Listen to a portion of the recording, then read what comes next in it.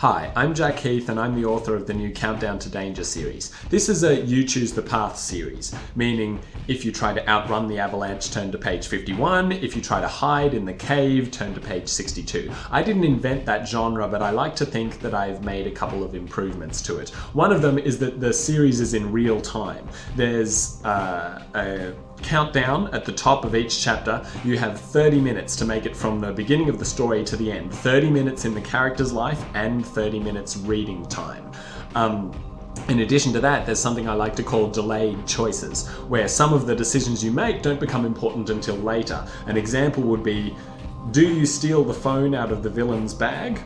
Or do you leave it where it is? Make your choice and then turn to page 53 uh, a few chapters after that, it will say earlier, did you take the phone or did you leave it where it was? If you took it, go to here. If you didn't take it, go to there. So uh, the stories are quite complex. In addition to that, I've always felt that one of the things that was missing from this genre was the ability to decide who your character was. So in each of the Countdown to Danger books, you get to choose your name and gender at the start of the story. But don't worry, the paths may diverge, but then they reconverge, so no matter which character you pick, you still have 30 exciting endings to find.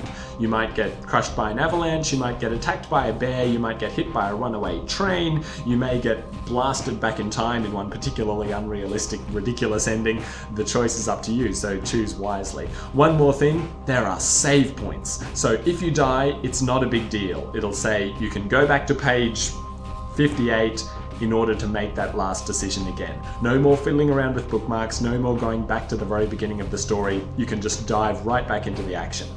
I'm really proud of Countdown to Danger. It'll come out, uh, the first book will come out in February. I hope you like it. I hope you enjoy it, or don't. The choice is up to you.